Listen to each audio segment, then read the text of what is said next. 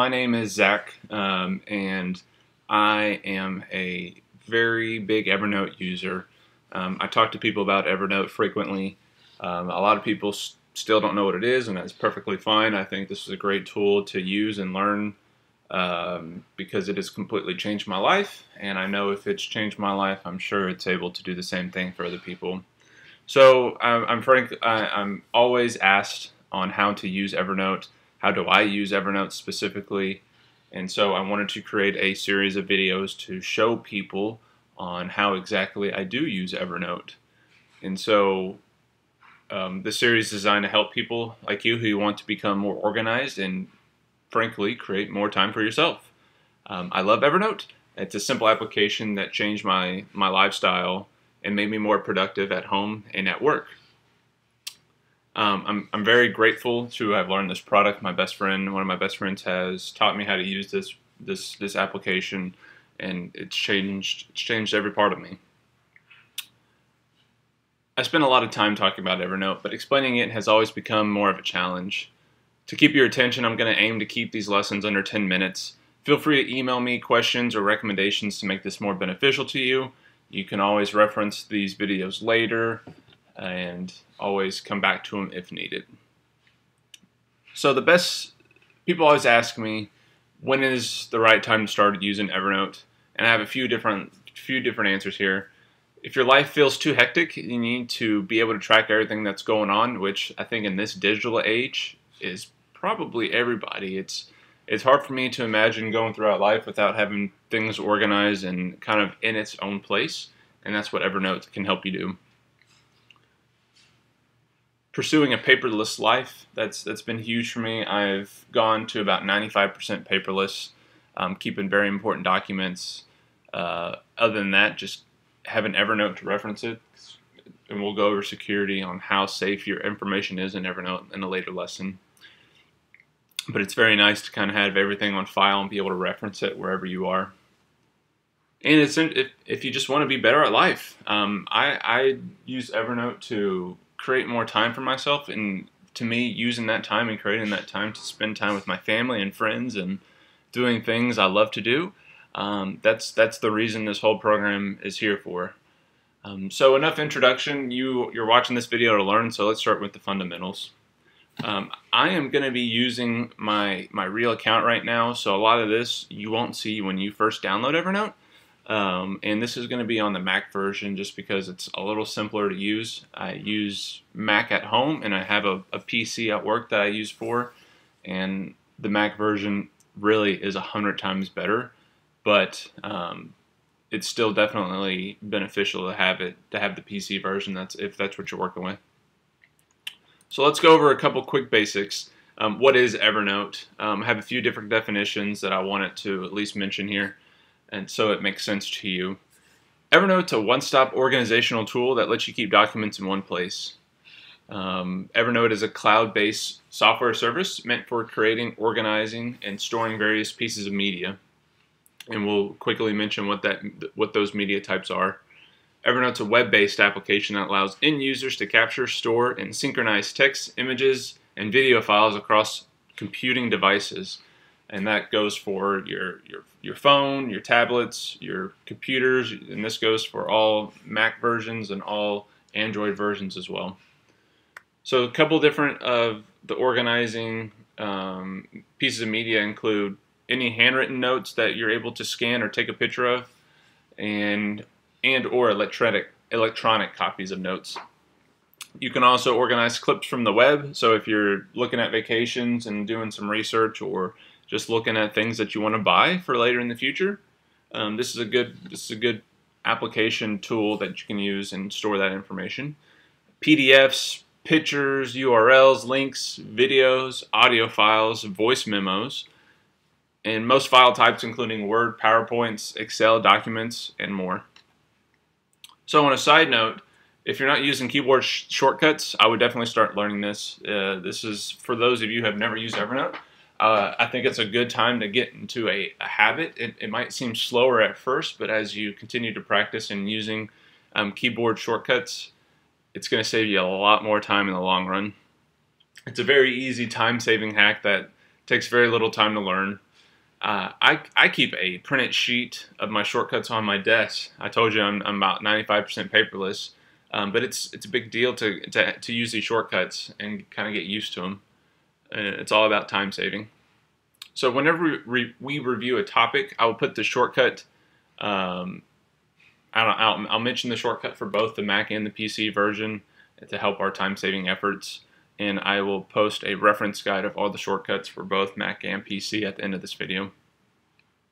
Okay, so we, we talked about what Evernote is. Let's go into more of the specifics. What are notebooks? Uh, notebooks I compare to like a, a folder.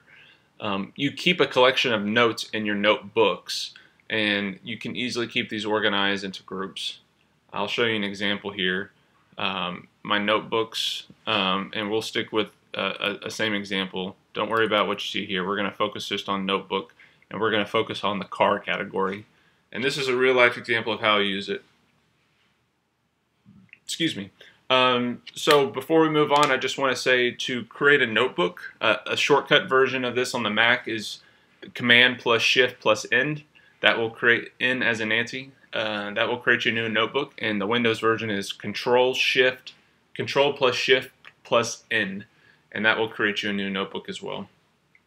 Here, I'll show you one right here. New notebook. You can type in whatever name you are. This could uh, name it whatever you like. Um, personal work, doesn't really matter. Go back into our card notebook real fast. Okay, so what are notes? Notes is our pieces of information that you keep in Evernote.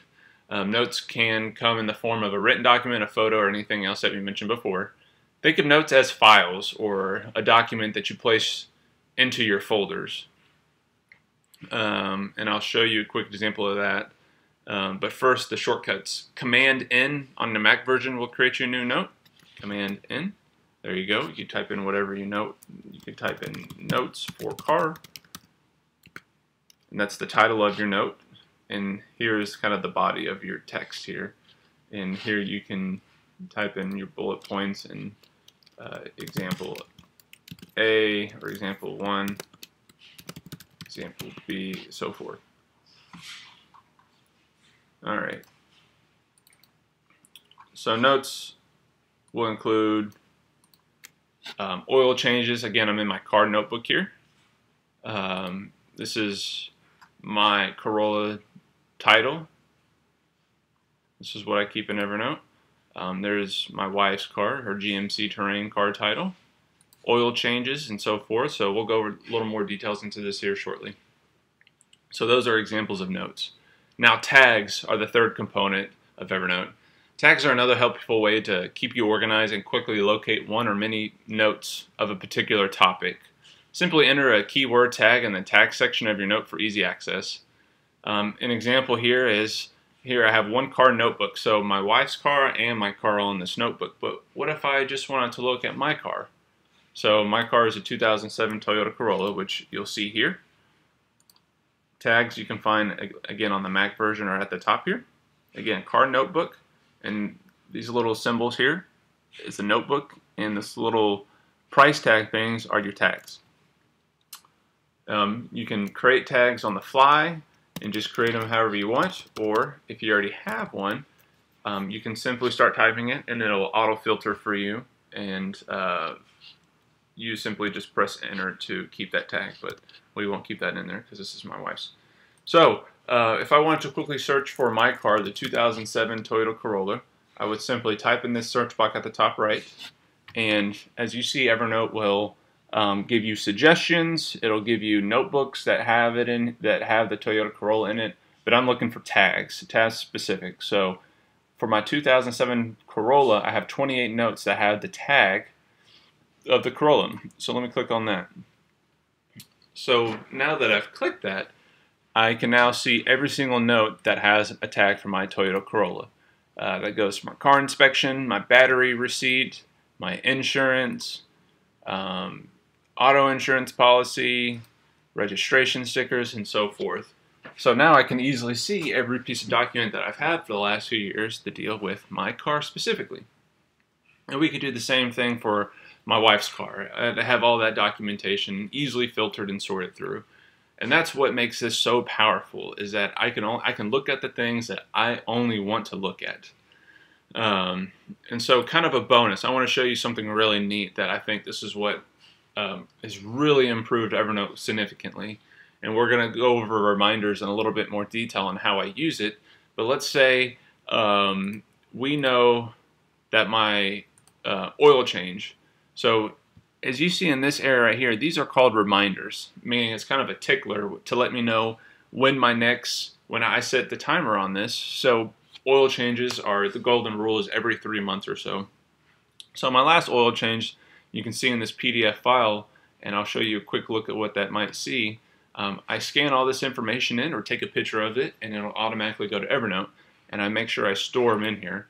So I essentially am able to see my last oil change, the, oil change before that, um, some of the inspection services that were done on my Corolla, and so I can see that my, my brake system was checked, um, my tires were rotated, and they replaced my oil my oil filter, which is great. Um, and that was back in um, November of 2014. My most recent one was in March of 2015. So I think that's beneficial to know whenever someone asks me when's the last time you had your tires rotated. Um, I go back to my Evernote through my phone and I'm able to locate this. So now that I have this information, I can now set a timer on when I'm, i want to be reminded when my next oil change is.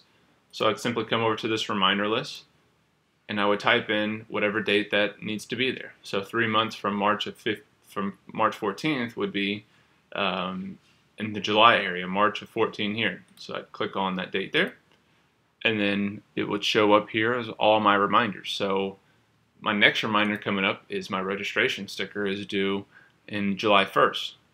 My next oil change needs to be done July 14th. My car inspection needs to be done in February 1st of 2016. I can get a new battery in September 1st of 2016 and I, I simply know that these are after two years. I can get a free battery replacement. So I would never know that just by looking at the receipt. So you have the option to type notes in here to remind yourself later when you pull this note up on what specific things and actions you need to take place um, to remind you whenever you do bring this back up. And so that's just kind of a quick, quick example of how powerful this can be. I think is extremely beneficial to be able to click on all this information and know when um, all these things are coming up. And I click my filter off on my tag, and now I can see my wife's oil change is coming up, her registration sticker, and so forth. So um, I can easily see all our car information in one simple location. And it just takes time to build this information, so don't feel discouraged if this seems like too much, because it really just takes a little bit of time to get there. So that's all for today. That's a quick lesson I wanted to show you. Feel free to email me at zweyand, that's Z-W-E-Y-A-N-D, at gmail.com for any questions or recommendations. Our next lesson, we're going to go a little bit more in depth with shortcuts, reminders, and note linking. That's all for today. Thank you so much.